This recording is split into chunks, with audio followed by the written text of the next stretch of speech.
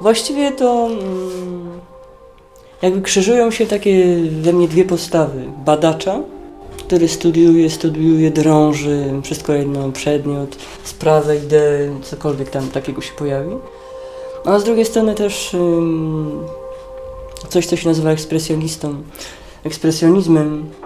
Potrzebuje po prostu wypromieniować, wyrzucić na zewnątrz jakiś pomysł. Mnie najbardziej ciekawią rzeczy niewidoczne, z pozoru niezauważalne. Niezauważalne, bo są albo maleńkie, albo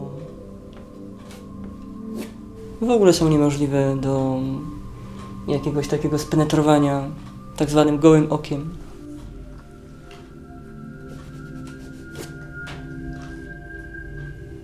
No, Tak naprawdę sztuka to jest też człowiek. Jego życie, jego wrażliwość. I myślę, że dotykając sztuki, dotyka się siebie. I dlatego mnie to bawi. Mm, Bo to wszystko ma sens tak naprawdę przy pracy z ludźmi, no z żywym człowiekiem. Niezależnie od tego, czy ma 5 latek, 6, czy jest to dorosły człowiek.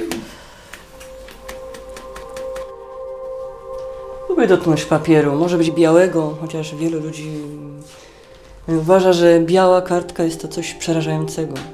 Trzeba ją zapełnić, trzeba ją dotknąć, można ją, nie wiem, mm, ta biała przestrzeń wtedy tak jakoś przeraża. Ale czy ona jest biała czy czarna, tak naprawdę jest to wielka przestrzeń, którą, która się otwiera przed nami i umożliwia zagospodarowanie.